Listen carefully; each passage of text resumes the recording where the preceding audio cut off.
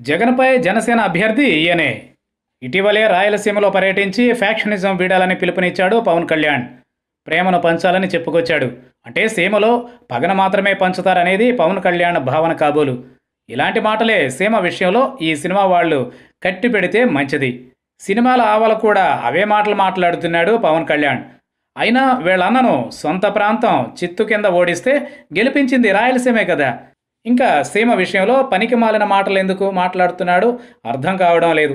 అదలా ఉంటే ఒక ప్రముఖ ఫ్యాక్షన్ నేత జనసేనలోకి చేరబోతున్నాడని తెలుస్తోంది. ఆయనే పేర్ల పార్థసారథి రెడ్డి. పులివెందుల నియోజకవర్గానికి చెందిన పార్థసారథి రెడ్డి వైఎస్ రాజారెడ్డి హత్య కేసు నిందితుడిగా పేరు పొందిన వ్యక్తి. రాజారెడ్డి హత్య కేసులో పేర్ల కుటుంబానికి చెందిన పలువురు నిందితులుగా తేలారు. ఆ కేసులో మొత్తం పదకొండు మందికి శిక్ష పడింది. పేర్ల కుటుంబానికి చెందిన పలువురు ఉన్నారు.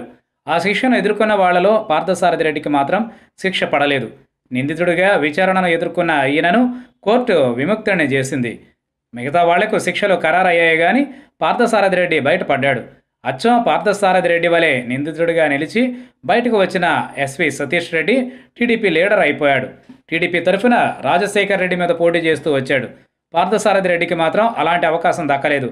టీడీపీ టికెట్ దక్కేలా లేదు వచ్చేసారి. అందుకే ఈయన జనసేనలోకి చేరుతున్నట్లుగా తెలుస్తోంది.